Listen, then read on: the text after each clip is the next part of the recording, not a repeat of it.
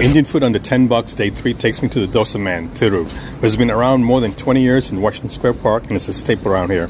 Lines pretty much every day and it's so worth it. He even won a Vendy Award for the best vendor once. I had the masala dosa and the Pondicherry special dosa filled with veggies. The dosa is like a crepe, made of fermented batter, made of rice flour and lentil, served with sambar and coconut chutney. When it's stuffed with potatoes, it's called masala dosa. It's crisp, savory, and delicious. Visit the Dosa Man and get a taste of South India and tune to my next Indian food stop and follow NYCBuddha Eats for great places to eat in New York City.